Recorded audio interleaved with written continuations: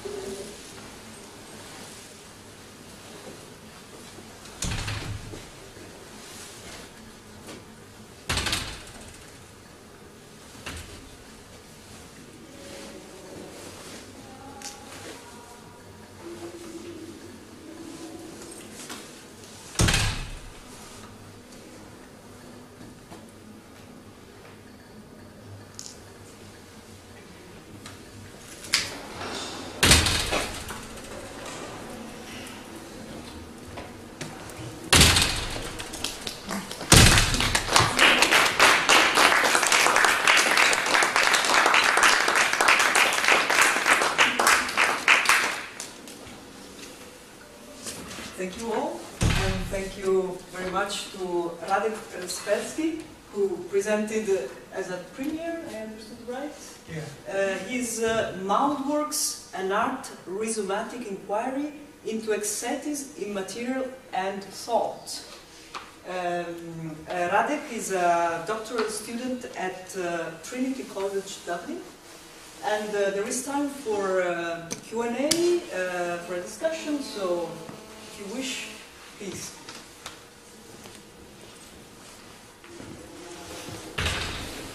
Maybe I can start with a question. Yeah. Okay. Um, you, were telling me before the presentation about your um, very strong engagement with the artistic presentation versus, let's say, more scholarly spoken presentation.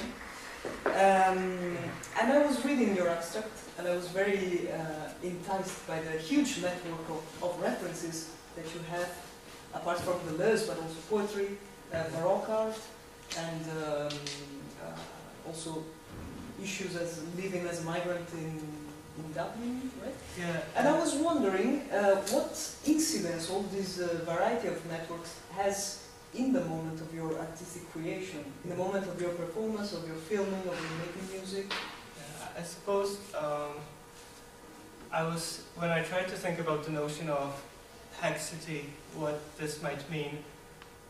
I try to unlearn any sort of uh, references that you might have just just by reading. I just wanted to start with the, I suppose, the immediate, and it struck me that mold is, for me, is kind of an Irish thing. It's like a Dublin thing, and it's it's something that's invisible yet we kind of breathe it. As the more I thought about that, I just wanted to, how do you, I, I just wanted to answer the question, how do you perform mold? How is it like he- haecceity, which is kind of, um, it's perfectly individuated, and yet it's, it's so elusive. So how do I make it something abstract, but yet at the same time kind of perfectly kind of um, palpable? So for me, this kind of idea of mold, and also uh, you can see in the photos the um, photographs of uh, um, Irish countryside, which is all, always has this kind of relationship with, I suppose, contagion, or in the sense that, for example, um, uh, last week there was a huge revelation that, uh, for example, on the west coast of Ireland, there's people that being uh, kept slaved on the fishing boats. So the whole idea that the Ireland is usually the, the picturesque, I felt that you know this idea of mold contagion could be an alternative to those kind of really um, uh, thinking in terms of established forms. So what do I have that's kind of is between the Deleuze's city and my own particular um, unfoldment of circumstances. So um, recently I was uh, I was reading uh, Deleuze's book on Francis Bacon, and and what struck me is this kind of idea of this kind of middle ground. So the ring or or the locale. So uh, and also at some time he refers that this locale is Ireland. So it's actually it's, it's this kind of ring uh, through which the figure escapes itself. So I was thinking, how could I perform or en- engage with that? As it struck me that if you read Francis Bacon closely, there's this idea of prosthesis, organs. So um, in, uh, for example, in Bacon, this is, for example, uh, umbrella that with its kind of shape, it's, it's kind of, it's like a projectile. It points towards some sort of, uh, it's affective weapon. So uh, I felt that I wanted actually to start with this kind of one affective weapon that would have to do with mold work. So, and this is uh, things that, the thing I was using to make the sounds is uh, actually a silicon scrubber. So uh, it's, because the mold is kind of constantly growing. It's, it's, a, it's a thing that you use in Dublin batsits to actually scrap the mold. And, and, and then it grows back and grows back and kind of forms different constellations. So I felt, could this not be an effective weapon? You know, something really petty and humble. And for example, a welcome break for like those gigantic land works of Robert Smithson that, you know, he was able to move mountains. He had almost, you know, the spiral jetty. He had lots of uh, resources to to his command, but my resources are really in, infinitesimal. I can only do art about what I know. So I kind of I started with something that blinds me and my household as well. But also the this weapon kind of needs some sort of resonance. It, it needs physically some sort of um, I suppose the equivalent of the uh, Francis Bacon's ring or this oval shape. So I thought about this kind of uh, uh, wooden box that would be kind of circular. It also, as you rightly uh, um, noticed, it it makes a connection with the you know old Irish instrument, which is bodhrán. and the the way it's the sound is made is like the there's some sort of uh, I don't know how to call it. It's basically the sound is made through brushing. Yeah. So could this be like the you know becoming haecceity of bodhrán? Perhaps I don't know. So it's a kind of constellation of imagery that, Yeah. in, a, in a sense, collapsed. Yeah, but it's.